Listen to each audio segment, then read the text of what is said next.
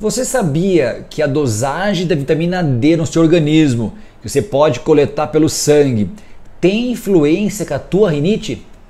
Não sabia? Vou te contar isso, tá bom? Mas antes disso, vou pedir um favor para você. Curta esse vídeo, compartilhe com outras pessoas e não esquece de se inscrever aqui no canal no YouTube.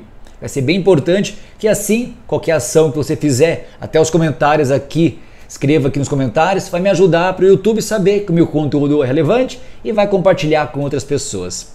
Primeira coisa, é importante, cada vez mais está em voga, a verificação da vitamina D.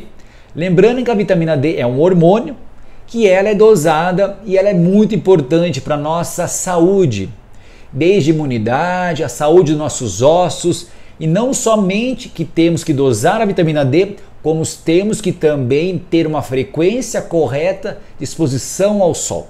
Sim, não adianta você complementar a vitamina D com injeção, comprimidos, gotas, manipular, se você não é exposto ao sol, porque a junção das duas coisas que vai metabolizar essa vitamina, que vai fazer a sua ação corretamente. Então é importante, tá? Quando for se expor ao sol, é importante que seja no horário mais intensidade solar.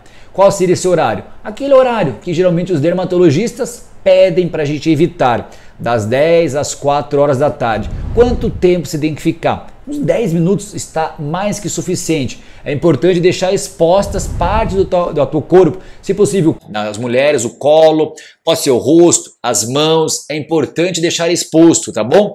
Não fique muito tempo isso, com isso, daí você vai fazer o efeito reverso contrário colateral do sol, que é provocar manchas no rosto e até o câncer de pele, tá bom, pessoal? Mas é importante sim estar exposto ao sol. Lembrando também que o câncer de pele não é só a luz solar, tá? Mesmo a luz do celular, que você fica o dia inteiro olhando, provoca manchas no rosto também, a luz de casa também, essa também é preocupante, tá bom? Outra coisa, então, vamos voltar. Como assim que a vitamina D tem relação com a alergia? Tem vários trabalhos que dizem essa relação. Que a gente observa, o paciente que tem rinite, ele tem muito costume de ficar aonde? Mais em casa, mais trancado, ou em casa, no quarto, ou no escritório, no trabalho, na escola. Essas pessoas sofrem muito com sintoma de rinite por isso. Que lembre que a principal causa de sintomas para rinite alérgica é a presença do ácaro, que é um microorganismo que está onde? Está no trabalho, na escola, no colchão, no travesseiro, no sofá, no cinema, no guarda-roupa, está em tudo que é lugar. Mas principalmente aonde? No quarto. Então a gente vê essa relação muito direta. O paciente alérgico fica mais tempo em casa, consequentemente tem mais contato com o ácaro, que dá o sintoma de rinite, e como não está tomando sol, também tem a baixa incidência da dosagem sérica da vitamina D. E, consequentemente, vai ter os seus sintomas colaterais que pode ter relação com a imunidade também.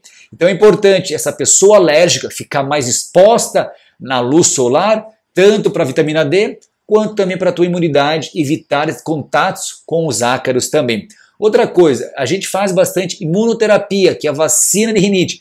E nós sempre pedimos a dosagem da vitamina D, que vemos também uma relação da efetividade da utilização da vacina da rinite, que é imunoterapia para a rinite, controlar a rinite, com a dosagem da vitamina D, tá bom, pessoal? Então faça isso. Você tem sintomas de rinite, faça também a dosagem da vitamina D e faça complementos que pode ser orientado para o teu médico, que pode ser otorrino, clínico geral, pediatra, dermatologista ou endocrinologista também, para te ajudar nisso também, tá bom, pessoal? Achou interessante essa correlação? Sabia dessa correlação? Escreva nos comentários para eu saber como está a tua vitamina D. Você toma sol todos os dias? Se está exposto, faz complemento de vitamina D? Preciso saber disso para eu fazer outros conteúdos para vocês e dê alguma dica de outro tema que eu possa fazer. Curta esse vídeo, tá? não esquece disso e se inscreve aqui no canal para me ajudar também e compartilhe esse vídeo com mais pessoas. Até o próximo vídeo, um abraço!